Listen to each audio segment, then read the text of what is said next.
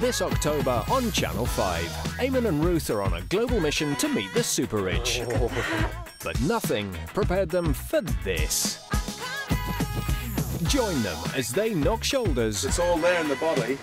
with the new multimillionaire class This is my house. It's like Narnia. and party with the jet set Mile High Club for us. Amen. as they uncover what life's really like when money is no object. Twenty million dollars. This is what it's all about. This is special. Eamonn and Ruth, How the Other Half Lives, starts Tuesday, the 27th of October on Channel 5.